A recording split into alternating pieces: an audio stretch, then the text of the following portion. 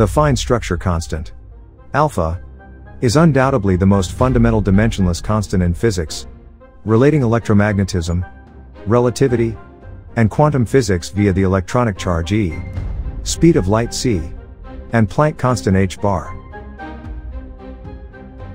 The constant alpha was introduced by Arnold Sommerfeld in 1916 when generalizing the Bohr model of the atom to account for relativistic effects. Alpha quantified the gap in the fine structure of the spectral lines of the hydrogen atom, which was measured precisely by Michelson and Morley in 1887. The fine structure constant alpha sets the fundamental strength of the electromagnetic interaction between light and charged elementary particles, such as the electron and the muon. Recent measurements using matter wave interferometry with the recoil velocity of rubidium atom has determined alpha with an accuracy of 81 parts per trillion. Beyond the subatomic physics, the fine structure constant also appears in the field of electrical engineering and solid-state physics. It governs the ratio of the characteristic impedance of electromagnetic waves in free space, Z, to the von Klitzing quantum electrical resistance, RK. The ubiquitous nature of the fine structure constant has remained one of the greatest mysteries of physics, which Richard Feynman proclaimed to be a magic number that comes to us with no understanding by man. In similar vein, Wolfgang Pauli said, When I die, my first question to the devil would be, What is the meaning of the fine structure constant? So, what does alpha has to do with graphene? Graphene is a two-dimensional crystal made of carbon atoms arranged in a hexagonal lattice. It can be experimentally obtained by mechanical exfoliation from high-quality graphite, the thing that your pencil lead is made of. Electrons in graphene behave like Dirac fermions, following a linear energy dispersion mimicking relativistic electrons, thus permitting analogous phenomena from high-energy physics to be reproduced in a tabletop experiment. Theory predicts that the light absorption of graphene is given by the fine structure constant multiplied by pi, yielding an absorption coefficient defined by universal constants independent of any material's properties. The absorption of light would then be about 2.3%. Experiments measure the transmittance of visible light through a suspended graphene, from which the absorption coefficient can be directly related to the transmittance due to the negligible reflectance.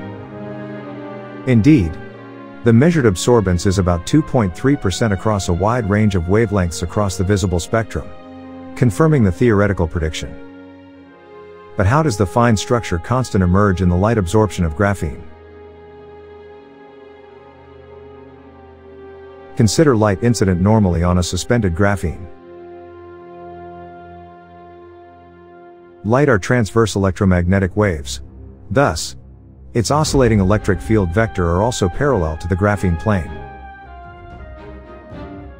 The electric field leads to local electric current, as given by Ohm's law, and its linear response is characterized by the dynamic conductivity, sigma. The electric surface currents would then produce a jump in the tangential component of the magnetic field, thus affecting the electromagnetic wave scattering across the 2D graphene sheet. The surface electric current therefore enters the boundary condition for the Maxwell equation, leading to scattering of the incident light, with finite reflectance and transmittance.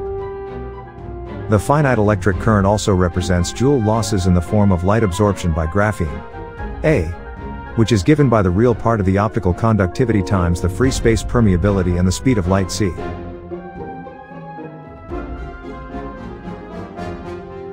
As a side note, most viewers are probably more familiar with describing the material's optical constant in terms of the electric permittivity.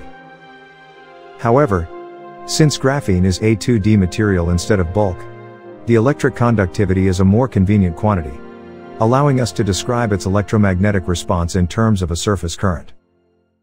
Nevertheless, if one insists on ascribing graphene with a finite atomic thickness, delta, then one can also recast the optical conductivity in the form of an electric permittivity as shown. The dynamic electrical conductivity of graphene describe the electron response to optical excitations and can be divided into three fundamental regimes. In regime 1, where the frequency is low, such as in the terahertz spectrum, the photon leads to electron excitation within the same band. This intraband transition is mediated through momentum relaxation via disorders in the material. The optical conductivity in this regime follows the well-known Drude conductivity. In the high-frequency regime 3, which typically resides in the near-infrared to visible spectrum, the photon provide the energy for direct electron transitions from the valence to the conduction bands. This interband optical transition produces a universal optical conductivity of E square divided by 4h bar as shown. This universal conductivity is responsible for the emergence of the fine structure constant in the optical absorption of graphene. At the intermediate frequency regime 2, the photon energy is insufficient to produce a direct transition due to Pauli blocking processes, and exhibits suppressed intraband transitions, thus leading to suppressed optical response. In summary, the universal optical absorption of light in graphene is defined by the fine structure constant, or more precisely, pi multiplied by alpha. This leads to an optical absorption of about 2.3% for suspended graphene. The fine structure constant is traditionally associated with quantum electrodynamics, rather than in material science. Thus it is surprising that simple light scattering experiments with graphene can reveal this fundamental constant. The origin of this can be traced to the unique Dirac electrons in graphene, thus mimicking relativistic electrons, where its interband optical transitions produces a universal optical conductivity. Stay tuned, and subscribe, so you will be notified of our future episodes.